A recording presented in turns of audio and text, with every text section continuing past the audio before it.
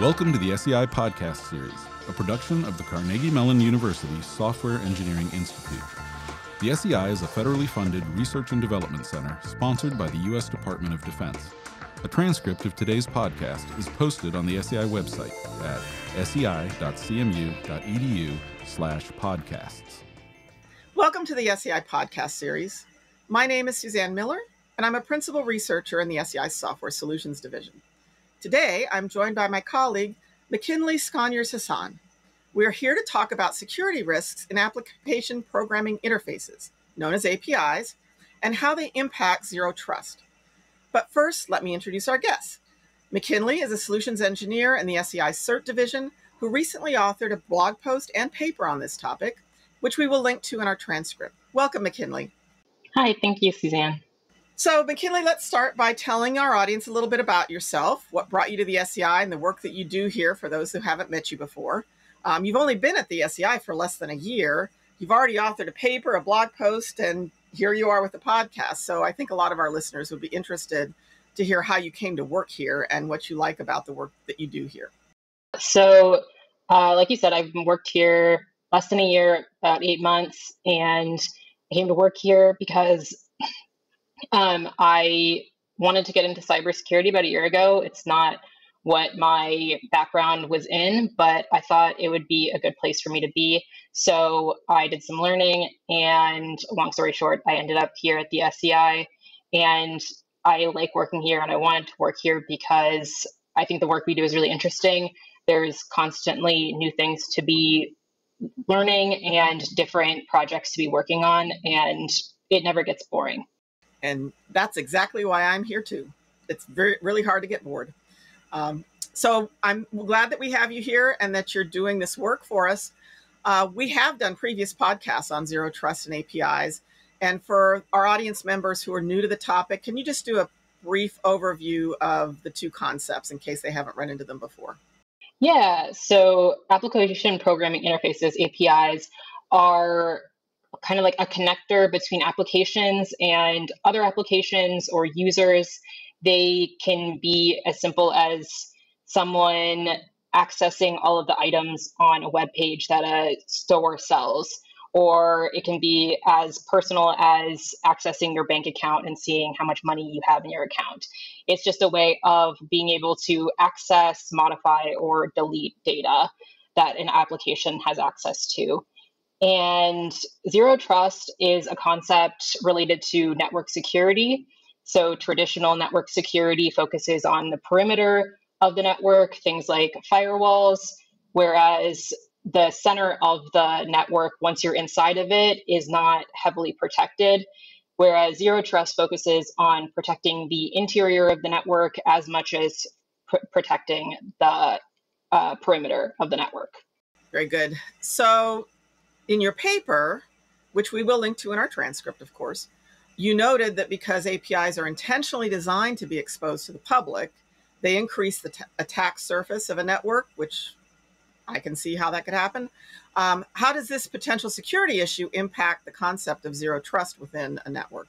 Yeah, so because APIs are meant to be exposed to either the public or other applications or other entities, it creates an access point in the network, which can be risky. So this affects zero trust because it means that those APIs, for one, have to be designed well, they have to be coded with security in mind. And the configurations uh, with the API and the infrastructure surrounding it, like API gateways and things like that, mm-hmm. also have to be well configured to make sure that they are protecting the network and uh, implementing zero trust and I, I know that in some settings in the past, so, you know, when I was back in the day, when I was a young software engineer, APIs were new and, and they were actually not trusted at all. I mean, that was the whole idea of having these, these interfaces that could access something without it being a direct link from one piece of software to another was considered to be very risky. Over time, this has become standard practice, partly because we do have some ways of protecting the perimeter that we didn't have, uh, you know, back in the 80s, and uh, and we didn't even have necessarily what we would call a perimeter back in the 80s, but also because they have become so useful as a concept. So this means that we have a lot of people that are possibly building APIs that may not have as much uh, uh, knowledge about what the security risks really are with APIs. So you outlined three top API security risks in your white paper and some recommendations for mitigating them. And that's why that's what we're here to talk through today.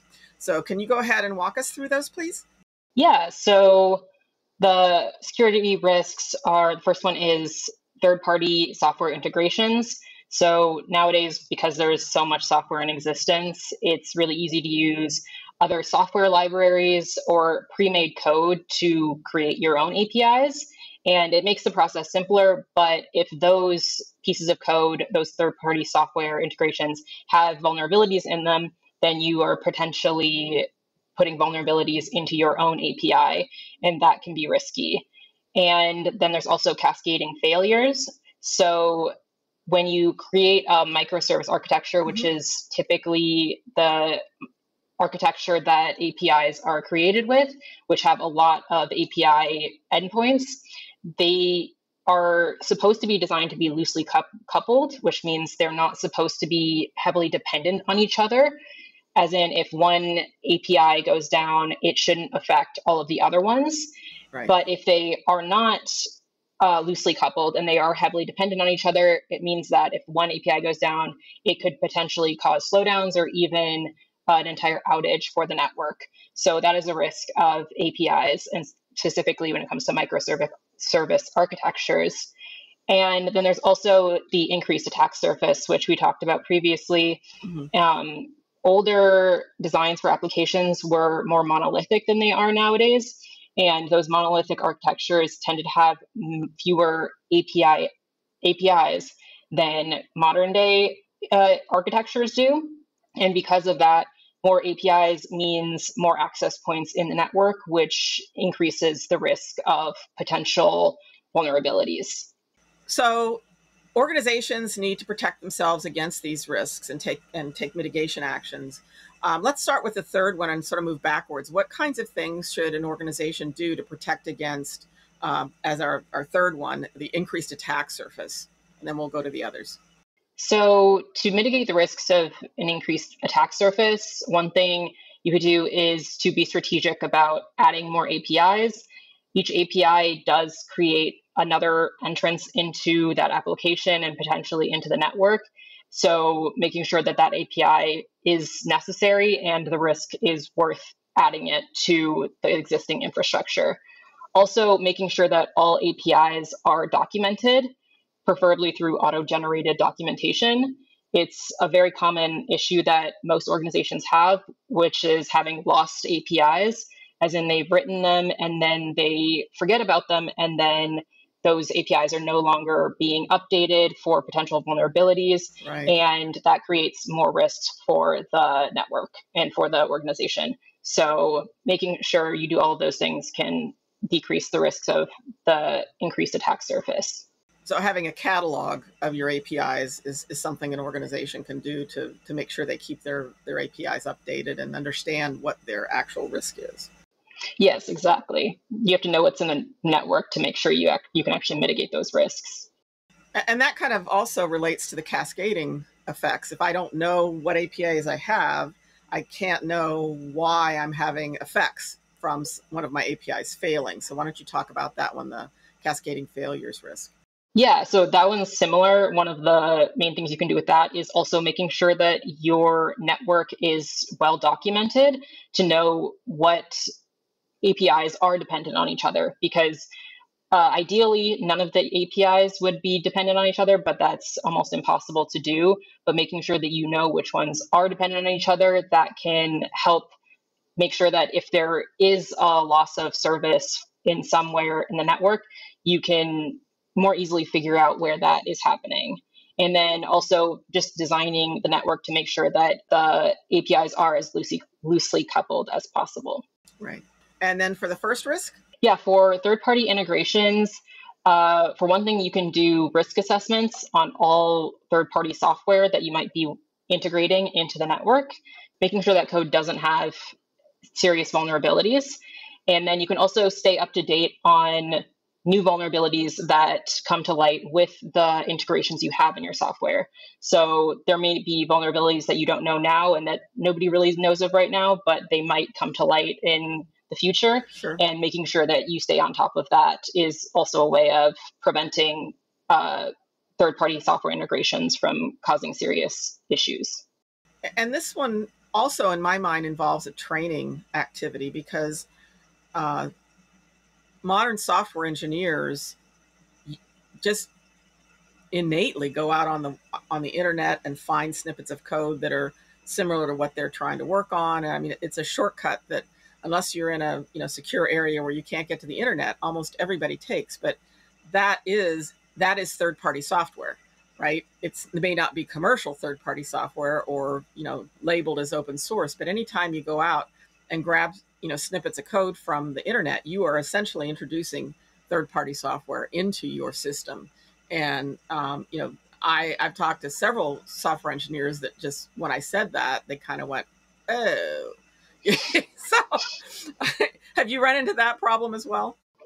Um, not. I haven't run into personal issues with vulnerabilities uh, with that type of code because I have I haven't worked in cybersecurity very often, but I have worked with a lot of people who do take code off the internet. I was a teaching assistant in grad school and I taught computer science classes, and that's a very common thing for right. students to do. And they're allowed to do it, or at my university they were, but we don't really teach enough about how that can be dangerous in terms of creating vulnerabilities in the software you're creating. So yeah, you're right. Being teaching people that uh, just taking code offline or using third party software integrations may produce risks and potentially huge risks for what the software you're creating is something that we should teach more about. Yep. And yeah, I'm, I, uh, in my day, that access that we didn't have that resource. I mean, you might have a friend that had something they'd coded that you could, you know, go ask them to, to you know, send you the the, the source code so you could retype it. I mean, we couldn't even hardly even FTP at that point. Um, yes, I started back in the day of punch cards, so that's how old I am. But um, now, I you know, like I said, uh, it's it's it's a whole different world in terms of what people have access to, and I think that's one of the things in my whole uh, you know talking to folks out in the world about cybersecurity. It's not my main field, but because of these podcasts, I end up talking a, lot more about it. Um, there's just so such a lack of awareness of some of these risks. So I'm really glad to see you writing about this and talking about it so that we can really make this something that people think twice before they just grab something and don't know what its security implications are. Um, which kind of leads me oh, to the, the, subject of transition. Um, what are the resources available to me and the software engineers that are out there that want to do a better job of using APIs and making sure that the APIs they use don't introduce uh, unnecessary risk into their system. And where can I find those? Yeah, so there are some articles written by the SEI if you look on uh, online about APIs and more specifically about zero trust, which can also help in the protection of APIs. There's the SEI Zero Trust Collection, which is a grouping of webcasts, podcasts, blogs, all talking about zero trust. And all of those can help in ter- terms of implementing zero trust and just making sure network safety is uh, prioritized. Okay. Um, and for you, you're new, but uh, you, you've already said you don't like to be bored. So I'm guessing you have something new and different that you're going to be researching? What are you working on that we can bring you back to discuss in a few months? Uh, yeah, I've been looking into more stuff about APIs, specifically about coding practices and general best practices when it comes to APIs as a whole. Excellent. So hopefully, I'll end up doing something with that in the future. Also needed something you can take back to your uh, to, to your computer science classes you used to be an assistant for. yeah. All right. I want to thank you, McKinley, for talking with us about this today. As I've said, I think this is one of the modern software risks that, especially those of us that sort of come from my generation, don't think about as often because we came at building software a completely different way than it's being built today. And so I think it's important to get these ideas out to everybody, not just the young people, but all of all of the people that are working um, in this industry. And for our audience, As I mentioned previously, we will include links in the transcripts to the resources we mentioned in this podcast.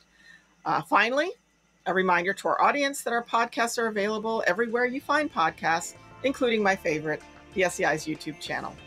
If you like what you see in here today, give us a thumbs up. And thanks again, again for joining us. Thanks for joining us. This episode is available where you download podcasts, including SoundCloud, TuneIn Radio, and Apple Podcasts. It is also available on the SEI website at sei.cmu.edu slash podcasts and the SEI's YouTube channel.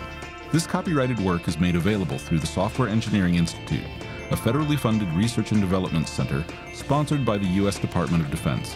For more information about the SEI and this work, please visit www.sei.cmu.edu. As always, if you have any questions, please don't hesitate to email us at info at sei.cmu.edu. Thank you.